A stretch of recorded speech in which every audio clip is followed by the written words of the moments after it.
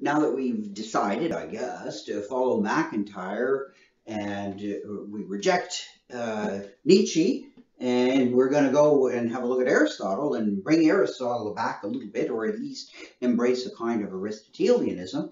Um, if, if, that all goes through, then uh, what does MacIntyre do next? Well, it's not surprising that we're going to get a little bit of a history lesson. So after chapter 9, we turn uh, to chapters 10 through 13. Those are basically a history uh, of the virtues and um, what MacIntyre wants to do. And so Aristotle's in there. He's going to talk about the ancients, you know, Plato, Aristotle, and then on and up to, well, he's going to start with the, the uh, heroic society. So Homer and the gang, looking at that, then, then the response to Homeric societies, then eventually up to uh, uh medieval ethics. And uh, he's really what he's trying to do is extract a core concept out of it all that he wants to explore in chapter 14 which is arguably one of the most important chapters or certainly could be say said to be important in the sense of uh, it's the chapter that most people tend to concentrate on when they read after virtue as far as i can tell. Because uh, uh, that's usually this is where MacIntyre really states what what his position is regarding uh, virtue. So pulling out this core concept from history and trying to articulate it in chapter 14 uh, to give us essentially what he thinks, that is what MacIntyre thinks, is the nature of the virtues. Um, so let's let's follow along, see what he has to say. So first he says we're going to start with the notion that virtues are exhibited in practices. And this is, this term, this one is, that's a key term for MacIntyre is the is is the term practice. So we have to expand upon and develop and think through what MacIntyre uh, thinks a practice is. Well, a practice is basically a coherent, cooperative, uh, kind of human social activity. Um, practices have standards of excellence. Um, practices have internal and external goods. An internal good is exactly you know, very deeply connected to the practice and an exter and sort of necessarily co connected to the practice. And an external good would be something that's kind of a byproduct of, uh, of, of the practice. Now, this sounds pretty abstract because uh, it largely is at this point. So let's let's uh, follow MacIntyre with a little bit uh, a little bit of the uh, the concrete angle on these things, and it should become pretty clear.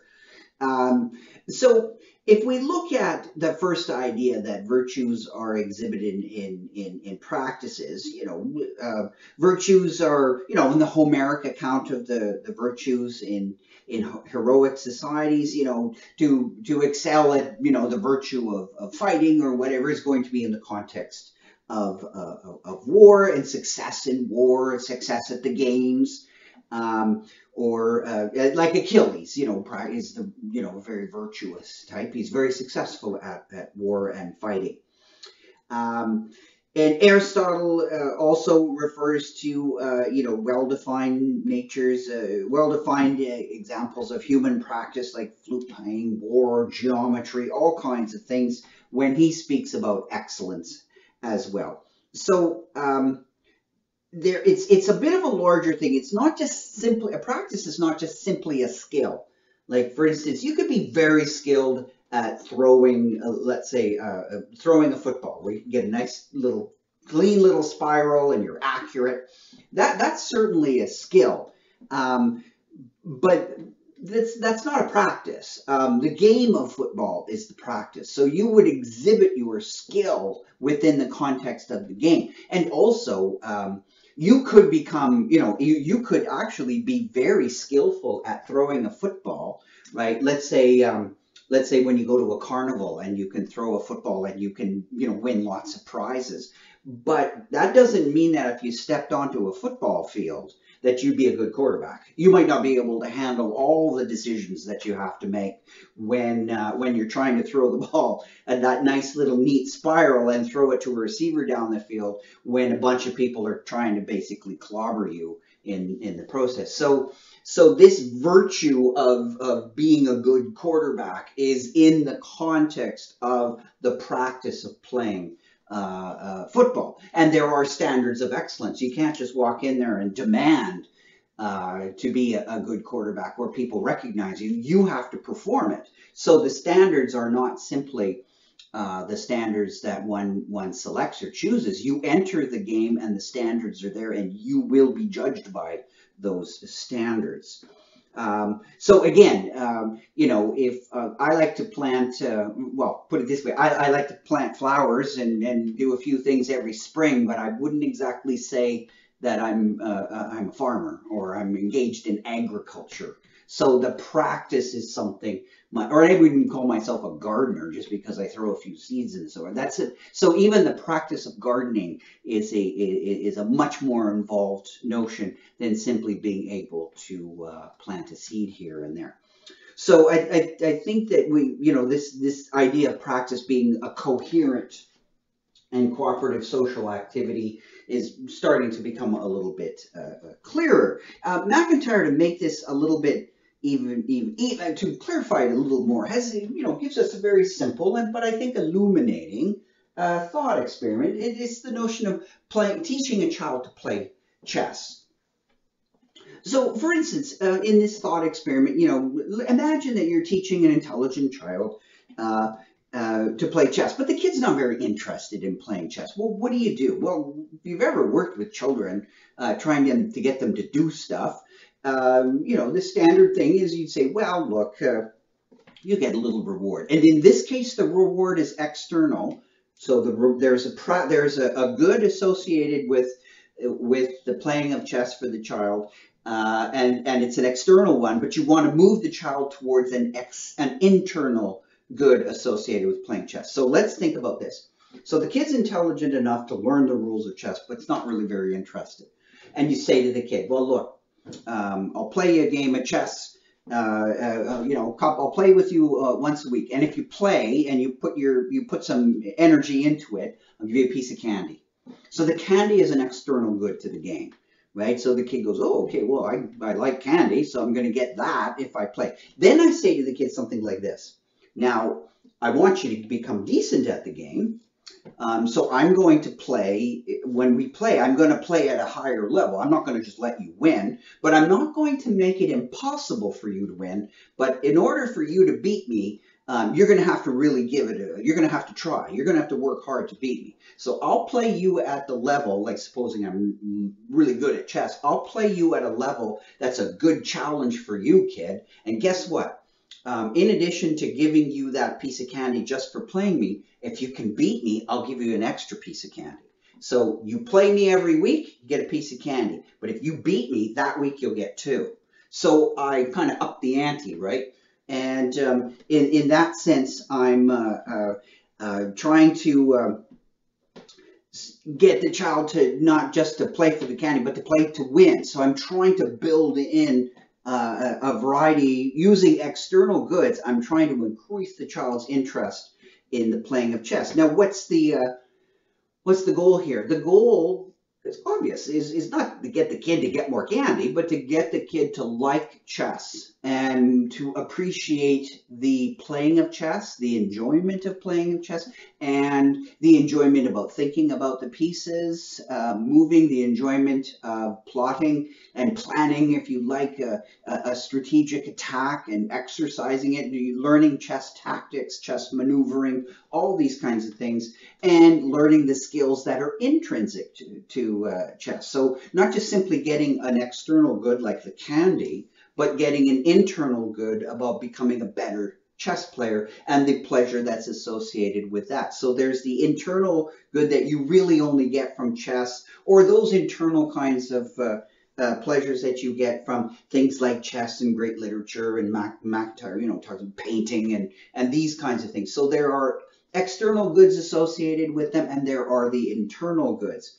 Um, and also, there's a sort of moral dimension that comes where you know uh, that the you know the the this the the standard of excellence that that you know the child is like you you try to beat me and uh, you do it honestly right? So you know like learning you know good sportsmanship and being able to handle a loss and recover and and to win honestly and fairly Um, so then the child will learn that you know to, that cheating is to cheating in the game is to cheat himself out of of certain things. So uh, um, so the child is motivated to play, to play to win, to win properly and cleanly, and so you can see a whole bunch of stuff is uh, is gained. But the main thing is that there are these uh, uh internal and external goods. The external good could have been candy, but if the kid didn't have a sweet tooth, I'd say, well, what, I don't know, maybe like a comic book or something else.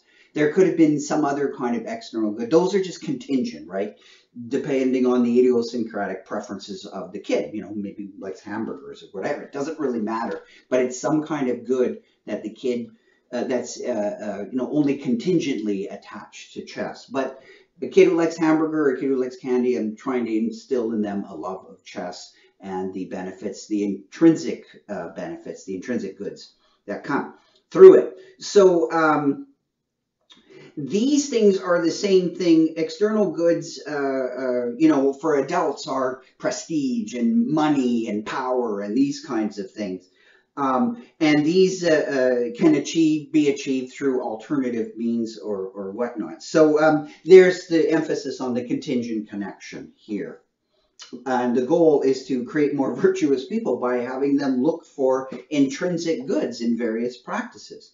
Um, and of course, there are going to be certain kinds of intrinsic goods that are connected to either a particular practice or maybe a closely related family of uh, practices. So practices involve the achievement of goods, standard of excellence, and of course, a sense of obedience to others. So you learn, uh, uh, you know, uh, a respect for authority and and that kind of notion, and, and and that you learn to accept being judged in certain ways because these standards of excellence are not ones you pick. They're ones that you agree that are imposed upon you.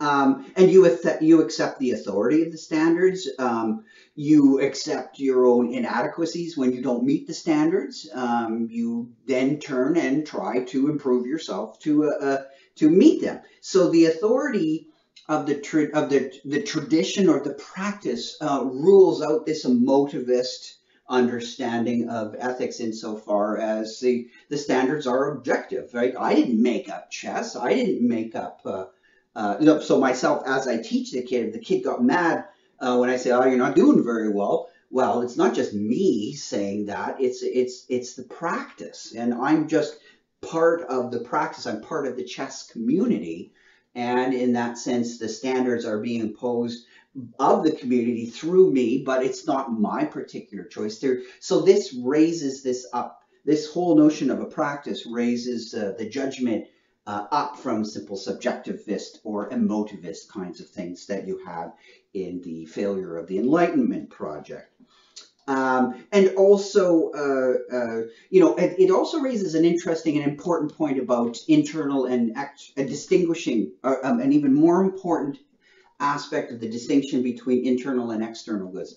Think about this way. Think about it this way. External goods really are objects of competition because they're like property. Like that candy is is is is like uh, uh, property, right? And and property, uh, you know, external manifestations of uh, desires, you know, like you know, I want to possess that um, and that piece of property. There is a, a, a sense of um, well, the more that that you have of property, the less that's available for others. So external goods, they function according to that kind of logic, that the more external goods I get, like power and money and prestige, the less there is for other people, right? And so for MacIntyre, external goods are, are they're more like stepping stones, but they're, they're they shouldn't be treated as the end, right? Because they are external and they do create uh, a, a, kind of erosion of virtue. And we'll get to that in a second. The internal goods, though, these are, uh, uh, there's certainly outcomes of competition because I'm competing with the child. There is a, a kind of quasi-adversarial relationship. However, when the child achieves these, uh, uh, these internal goods, unlike with the external goods, I'm out some candy, right? I have a bunch of candy and I got to give it to the kid uh, and I'm sort I have less candy or I have less to give other children or less in my in my candy jar. But when the child starts acquiring the intrinsic good of chess, I'm not less of a player for that. Um, no, I, that's not taking anything away from me or anyone else. As a matter of fact, what what's happened is the child is acquiring the intrinsic good of being a good chess player, and thereby the community becomes a better chess playing community as a whole. So there's no sort of taking away from any member of the community by someone becoming, by this kid becoming a, a good chess player. In, in fact, you can think of it this way. Um, uh, if this if, if this child becomes a good chess player and becomes better and better, what what's really going on here?